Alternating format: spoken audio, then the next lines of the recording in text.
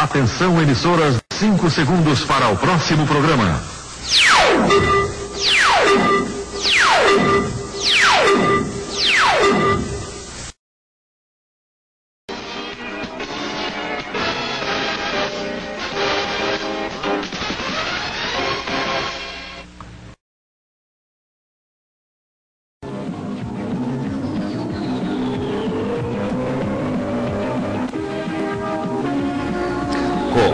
Começa agora o Jornal André Amorim, um jornal cheio de notícias até o fim. No comando André Amorim.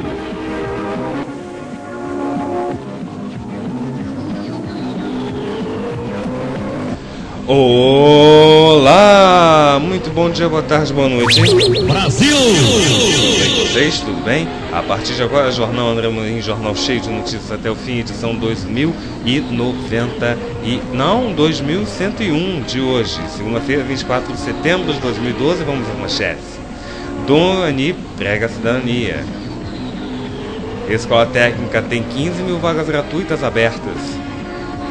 Na sessão ataque, Flamengo se afasta da argola. Essas outras notícias de capa de dia você vai saber junto com algumas notícias do site Fuxico e com a piadinha do dia.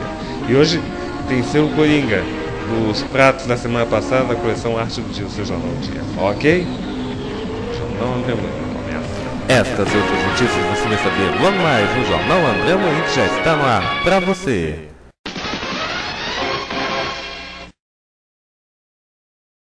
Compre o Jornal o Dia, como o Rio gosta de ler.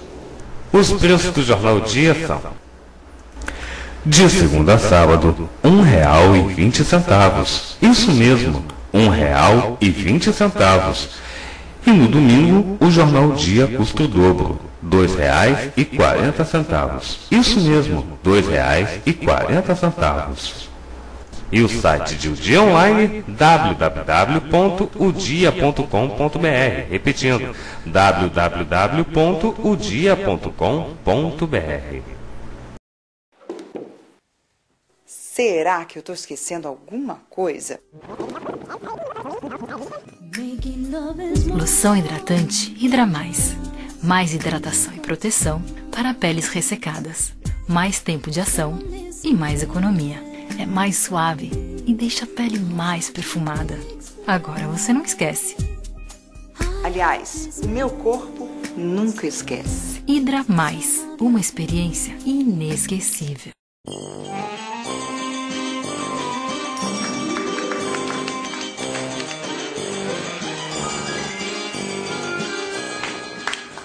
Mira isso aqui.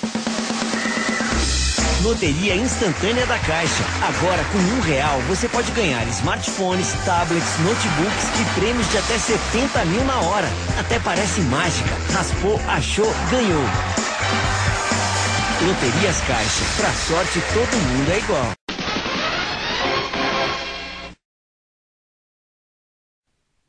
Piadinha. O bêbado ônibus. No ônibus estava sentado um bêbado sentado ao lado de uma mulher que segurava seu filho, que é bem da cor do Brasil, né? É bem mais pra cor da África, bem neguinho. Estava fazendo um calor infernal e a mulher começou a abanar o seu filho e o bêbado disse: É difícil. A mulher ficou na dela, abanando seu filho e o bêbado: É difícil. A mulher, já irritada, pergunta: Que é difícil, rapaz? E o bêbado: É difícil fazer esse carvãozinho pegar fogo. Olha, gente, a gente é contra o racismo, tá, gente? A gente não tolera racismo. Racismo é crime, tá, gente? Dá até prisão, inclusive. É inafiançável. As notícias, por favor.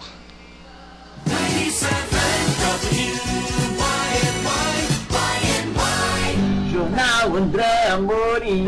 Oi, oi, oi, oi. De notícias até o fim. Aê! E agora, no Jornal André Amorim, a notícia mais quente do dia. Escola Técnica tem 15 mil vagas gratuitas abertas. Oportunidades são para cursos profissionalizantes na FATEC. Aprovados poderão trabalhar no programa Minha Casa Minha Vida. Inscrições terminam hoje. Detalhes na página 29 do dia. Na página 3, na seção Rio de Janeiro, Dom Ani prega a cidadania. Em missa no Santa Marta, arcebispo do Rio pede mais ações sociais nas favelas. Entre as páginas 18 e 20 na seção Eleições, Rodrigo Maia reafirma sua autonomia, mas elogia o legado do pai. Nas páginas 4 e 5, na seção Rio de Janeiro, Realengo ganha novas opções de lazer no Parque da Pedra Branca. Na página 12, na seção Rio de Janeiro, o policial federal reage a assalto e acaba morto no de dentro. Na página 10, na seção no caderno ataque, Vitor Belfort pede desculpas ao Brasil por não finalizar John Jones. Na seção, no caderno ataque, entre as páginas 4 e 9, Flamengo se afasta da degola. Liedson e Kleber Santana garantiram a vitória de virada de 2 a 1 sobre o Atlético Goianiense, levando o rubro-negro aos 31 pontos no Brasileirão. O Botafogo empatou com o Corinthians por 2 a 2 e o Vasco ficou só no 0 a 0 com a Ponte Preta. E agora, as notícias do site O Fuxico. Ex-RBD, Anaí vai se casar em março e chama Thalia para ser madrinha. A cantora já está escolhendo seus padrinhos de acordo com o programa de rádio. De acordo com o programa de rádio mexicano Todo para la Mujer, a ex-RBD Anaí já tem data para subir ao altar, março de 2013. Um noticiário comandado pela jornalista Maxine Woodside afirma que a cantora e atriz vai se casar em uma cerimônia civil na cidade do México, sendo que a boda religiosa acontecerá na Catedral Mexicana de San Cristóbal de las Casas. O noivo é o novo governador eleito do estado de Chiapas, Manuel Velasco, com quem está saindo desde novembro do ano passado. Anaí quer que os fãs estejam presentes na celebração e por isso a igreja terá acesso livre para o público.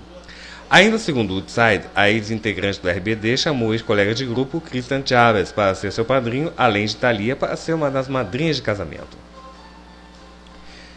Diego Maradona vai ser pai outra vez. Há sete anos, o craque argentino vive um romance com Verônica Orrera. O argentino de Diego Armando Maradona, de 51 anos, está prestes a aumentar a família. O ex-jogador espera um filho com sua atual parceira. Estou grávida de quatro meses, confirmou a namorada de Maradona, Verônica Ojeda, de 34 anos, ao site argentino ciudad.com. O casal vive junto há sete anos e, no final de 2009, anunciou uma gravidez que não teve um final feliz. Em janeiro de 2010, após 19 semanas de gestação, Verônica sofreu um aborto espontâneo. Maradona já é pai de Dalma, de 25, e de Anina, de 23, fruto de seu casamento com Cláudia Bilafagne. Além das duas jovens, ele tem um filho de 24 anos fora do casamento. O rapaz se chama Diego Maradona Sinagra. E embora a justiça o tenha reconhecido como filho legítimo, o ex-craque não mantém um relacionamento amigável com ele. Adele confirma que tema do novo James Bond é seu. Boatos ligando a cantora ao filme começaram quando ela foi vista no estúdio onde a trilha sonora do longa está sendo gravada.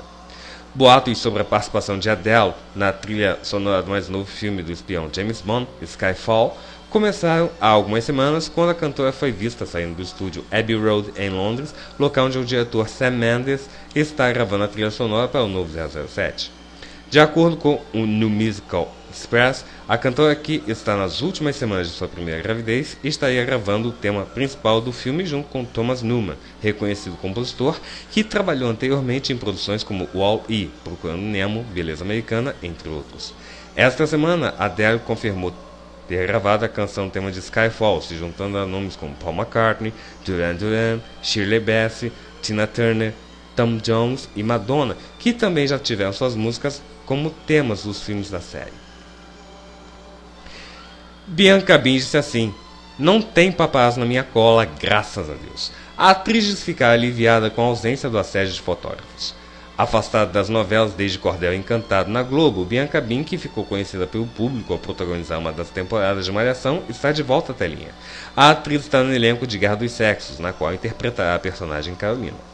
Bianca diz que apesar da fama ter chegado quando ainda era muito jovem e mesmo depois de participar de grandes produções da Globo, nunca precisou se preocupar com excesso de assédio da imprensa. Não tem paparazzo na minha cola, graças a Deus, mas também sou uma pessoa muito caseira. Toco qualquer programa pela minha casa, afirma. Sua personagem em Guerra dos Sexos será filha de Nieta, Drica Moraes e namorada de Ulisses, Heriberto Leão, mas quer mesmo é fisgar o coração de Fábio, personagem do português Paulo Rocha. Carolina será uma mulher falsa, dissimulada e fará de tudo para trabalhar na loja Charlos.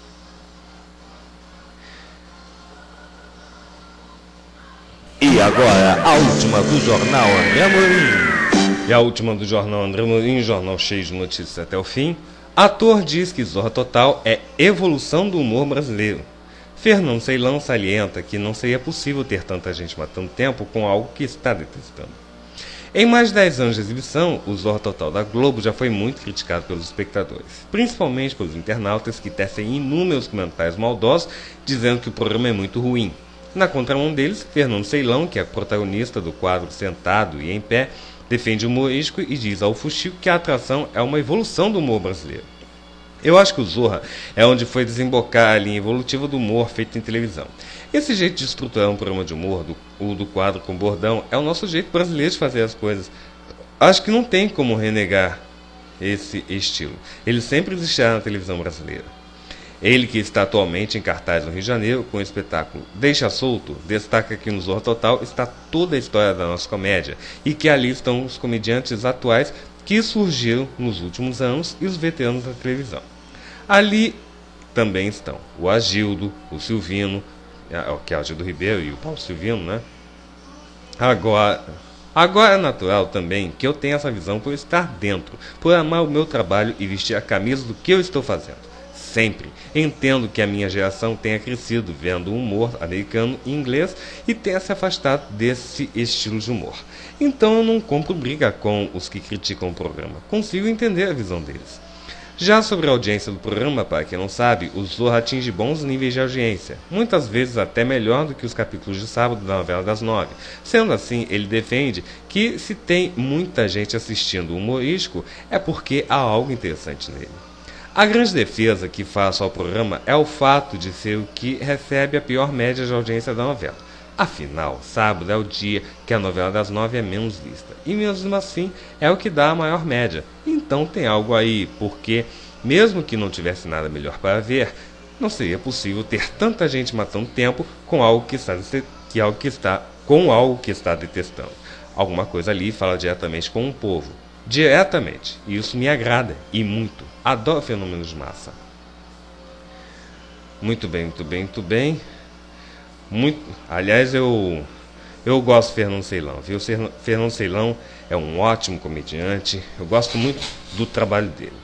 É, eu assisti algumas peças de teatro dele, são ótimas. Vale a pena conferir. Hum? Inclusive, o Fernando Ceilão é é, Fernando Ceilão, esse cara é bom, muito bom. Muito obrigado pela companhia e pela audiência. O Jornal André Morim, edição. Ah, aliás, eu tenho falado às vezes com ele, né? Quando a gente se encontra pessoalmente, né? Muito obrigado pela companhia e pela audiência. O Jornal André Morim, edição 2000 e. e ou melhor, 2000 e, 2101 de hoje. É, Segunda-feira, dia 27 de setembro de 2000. Não, 27? Não, é. 20, 24, 24 de setembro de 2012. Fica por aqui um super beijo pra vocês. Um forte abraço e até amanhã, se Deus quiser. Tchau, pessoal.